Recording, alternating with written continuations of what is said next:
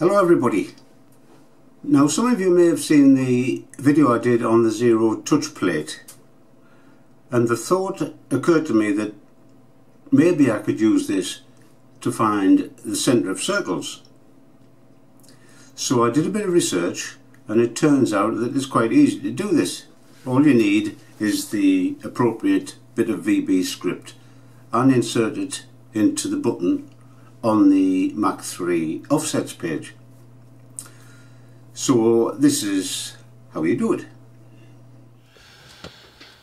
So here we are in Mach 3 and the button we want to edit is in the offsets page. That's this tab here or Alt 5. So you should have something that looks a bit like this. It might not be exactly the same as my configuration but it will be something similar. You should have four edge finding probes and a center probe. And this is the center one we need to program. So the way to do that is go to operator and select edit button script. Now what should happen is that you'll find that a number of these buttons are pulsing. The four edge finders, the center finder there and a few others. So simply click on the center one and we are presented with the VB script editing page. So I've got the VB script we require over here in a notepad file. Now you can find this uh, below the video in my comments section. So simply Control A, capture it all, capture it, go back into the VB editing page, click in there to make it active, then Control V and paste it in and that's it now. File save. And that's it. And we can kill that. So what should happen now is what when we press this button here we see the X button is starting to move the X-axis now because there is no tool in this particular device at the moment. This is just a demo piece of software. This will carry on forever. So we'll stop that.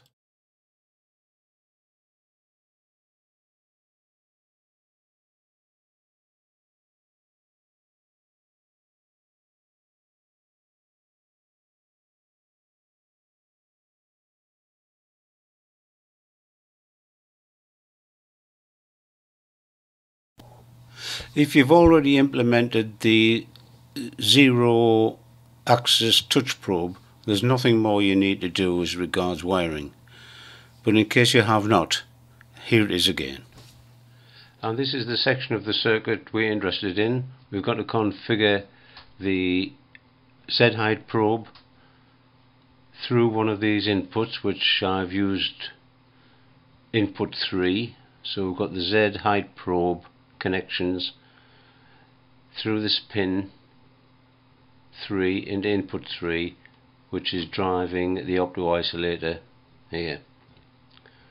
And that goes out through pin 12 and pin 12 is the one we must configure in the ports and pins section of the Mach 3 configuration. So remember pin 12 and remembering that the input pin on the Uniport board is pin 12 we go to the ports and pins dialog box choose input signals scroll down to probe. And we need to enable it. It's already set to port 1 and the pin number is 12 we also need to check active low and click on the apply button and that's it. Okay, this is the setup and we're going to be using one of these Chinese engraving tools to engrave some script around this surface. That's a 60 degree tool. But first we will assemble the tool the wrong way around in the collet. So we'll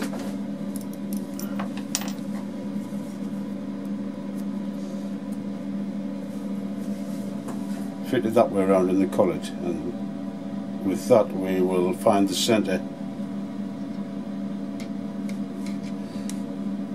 of the of the part. So I'll do that now. So there is the shank of the tool, you can scarcely see it, but the shank of the tool is now below the surface of the part and I'm simply going to hold the probe touch plate against the part there to get the connection. And then I'll click on the button to center the part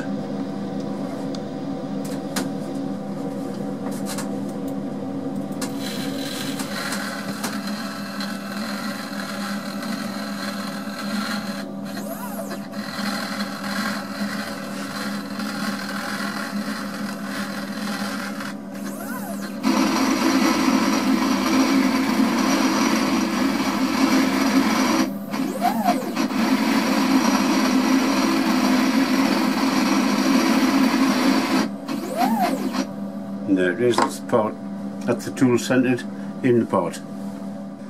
It must be noted that this piece of VB script for the centering does not at all adjust the X and Y values in the DROs. You have to set them to your own particular values. In this case it's just 0 and 0.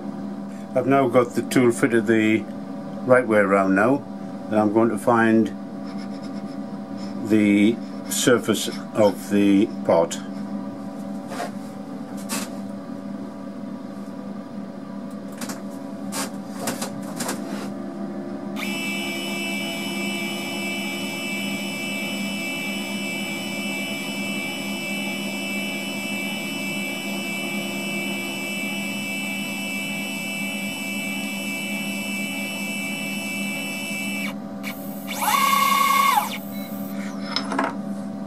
That.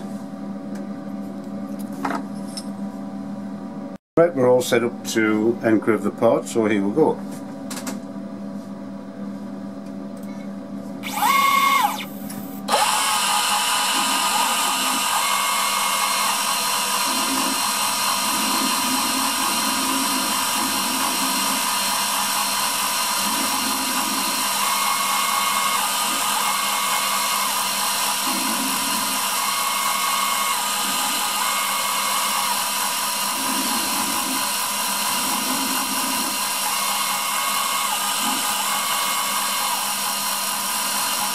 no doubt Out all those Z-axis movements to speed things up. Should have thought of that at the outset. So there you go. Such is life.